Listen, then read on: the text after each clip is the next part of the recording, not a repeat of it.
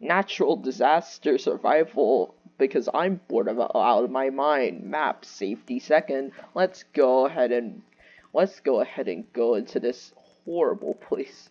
It, oh wait, oh wait. It's not gonna be a one of those blizzard whatever whatever they call it. Yeah.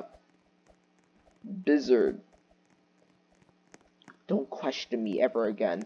Anyways, uh tractor right here. I just took fall damage. I forgot about that in this game. Uh, I think they're gonna. This like honestly, this is a really concerning sight. I'm gonna gonna go, you know, take my.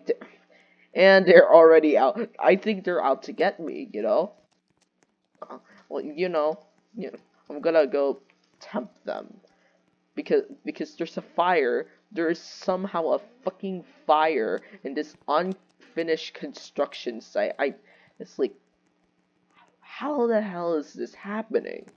Like, who is, who is taking time out of their day to start a fire at an unfinished building? Like, it's not even optimal. Also, this idiot's really, really throwing the game right now. So I say we I say we use all our might to push him off. Hold up. Ever so slightly, ever so slightly, we're, we're getting in, we're getting in some, some type of distance by rubbing against the lever. Or whatever the heck it is, it's called. We have to keep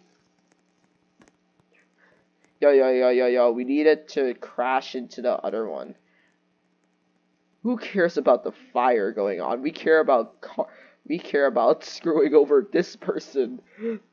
we're we're so we're such talk. Oh, now you get out. Oh, now you get out. Cringe. So anticlimactic. I thought they